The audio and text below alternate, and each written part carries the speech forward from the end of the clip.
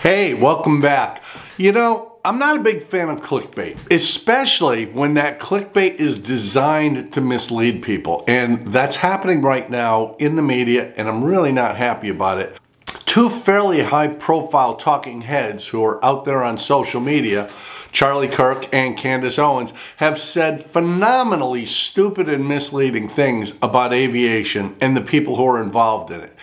And it really does irk me because the people who are involved in aviation, in all phases, put a lot of effort into getting there. Especially true for pilots. Recently, and I'm going to read this so I get it correct, Charlie Kirk said, if I see a black pilot, I'm going to be like, boy, I hope he's qualified. This is just mind-numbingly stupid because it's relatively easy to find out what is required to become an airline pilot. Candace Owens piling on and backing up Charlie said this. I would be terrified if I got onto an airplane and I saw a woman flying the plane. Now this is just galactically stupid not just because there are an enormous number of people in our history who disprove this point that they are truly qualified people. I mean, have Charlie and Candace never heard of the WASP?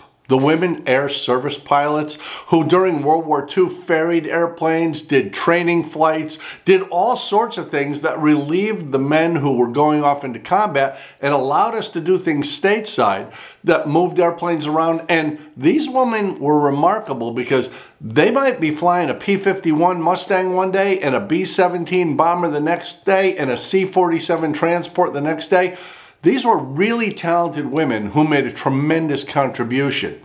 And to disparage that memory and pretend you don't know that women and blacks and Hispanics and Asians can be qualified pilots, that's just reprehensible. And I'm sorry, but it is. Are they unaware of the history of the Tuskegee Airmen? Young black men who, against tremendous odds, got involved in aviation in a military setting and made an enormous contribution to the American war effort as fighter pilots in the theater of operation with a remarkable record of success. HBO made a movie about it. It's not like this is a secret. Beyond that, it's relatively easy to find out what is required to become a pilot and rise to the level where you're sitting in the cockpit of an airliner. Just as a thumbnail, you need to get your private pilot certificate. Then you need to get your instrument rating. Then you need to add on a commercial certificate. Then you're probably going to get a CFI and a multi-engine rating. And you're going to spend a couple years getting experience flying smaller, lower powered aircraft. And when you have the experience and the credentials and you start applying to airlines, then you're going to go through more training and testing. And every one of these involves study, classroom, aircraft, being out there taking tests, learning information that the average person has no understanding of and repeating it and repeating it and repeating it, building on that experience, getting greater insight, operating different types of aircraft, finding some mentorship that helps you rise to a higher level. By the time they get to that airline cockpit, these people are truly skilled. They're very well educated. They have multiple FAA certificates. They've gone through such uh, an enormous labyrinth of testing and training and experience building, it is really disturbing that someone in a position of responsibility and authority would even suggest that because they're female or because they're non-white, they're not qualified to be there.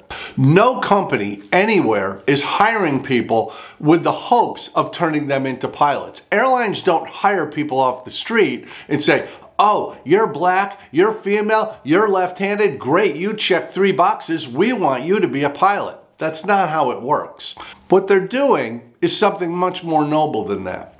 What they're doing is saying, we've got job openings, and those job openings have specific requirements. We want you to know our door is open. If you get those requirements, if you do the work necessary to get here, we will interview you. And if you meet our qualifications, we will hire you. That's a world away from what was happening in the 40s and 50s and even in the 60s when very often non-whites or females weren't being interviewed. They weren't being given the opportunity to fly an aircraft like that. They weren't being offered career positions. This is not DEI. It's not diversity, equity, and inclusion. This is opening the door wide and saying, we've got job openings. We have a shortage of pilots. We need people who are interested in this, who are willing to put in the work. And if you are, well, we don't really care what you look like. If you can meet our standards, we want you. And that's the way it should be. Aviation is a meritocracy. If you can pass the test, if you can do the work, if you can act as pilot in command and make the decisions necessary to keep these flights safe, you deserve to be sitting in that front seat. Getting involved in aviation is hard enough without blowhards on social media pretending like some people don't belong while others do. I've loved my career in aviation. It's been fantastic to me. I really have enjoyed it, the good times and the bad. It's been absolutely worth it. But you know, to tell somebody that they don't belong because they don't look right is idiotic. It's mean-spirited. It's it's wrong. What these talking heads should be saying is America truly is the land of opportunity. Educational opportunities abound. Aviation is global, and the United States is the flight training capital of the world. We speak English already. You have an advantage because English is the international language of aviation. If you want to get involved in aviation, you should get involved in aviation. If you can succeed at the educational requirements, if you can pass the tests, you're all set. And let me be absolutely crystal clear about this. There is a practical test standard and an airman certification standard that the FAA and their designated examiners use when testing pilots. It's the exact same standard no matter who you are. You'll perform those maneuvers to those parameters successfully and safely, and if you can, you move up the ladder. If you can't, You've hit the ceiling and that's as far as you go. You won't find people making it to the airline level who just have no background at all, no experience. They just showed up and said, hey, I want to be a pilot, so can you put me up there and I'll just learn it as I go. Airline pilots go through training and testing every six months for their entire career, not just to get hired but throughout their entire career, whether it's a first officer or a captain, they have to go through testing and training every six months because safety is the prime directive. That's what we're trying to achieve. So to have these people out there talking on social media as if there are some people who are worthy and some people who aren't, or that you can just look at someone and by seeing their physique, by seeing the color of their skin, by noting their hairstyle, I can tell whether you're a good, qualified, safe pilot or not. Well, that's just stupid. That, that's stupid beyond the realm of reason because the research wouldn't be that hard to do. They could have just talked to an airline pilot and say, hey, what, what's involved in becoming an airline pilot? They could just go to the FAA.gov and look up what are the steps to get there. They might even go to the airlines and say, what are your minimum requirements? And they would have known immediately they were 100% full of shit. The message we're sending is one of hope. If you want to fly, if you want a career in aviation, you can have one. It doesn't matter where you're from. It doesn't matter what you look like. It doesn't matter what kind of genitalia you have. It doesn't matter if you're straight or gay. If you want to fly and you want to make it your career, I wish you the best of luck. And we here at Mad Props Aero will do everything we can to help keep you on the right path, give you some tips and tricks that might help you along the way, whether that's financial or procedural, and basically help you become part of the aviation community that enjoys the lifestyle we live so much. So when you see these blowhard talking heads on social media and you see people talking about who can or who can't succeed, keep in mind, you're in the group of people who can succeed if you want to. All you have to do is put in the effort. And yeah, it does take effort. It does take time. It takes the intent to build experience and learn from those who came before you.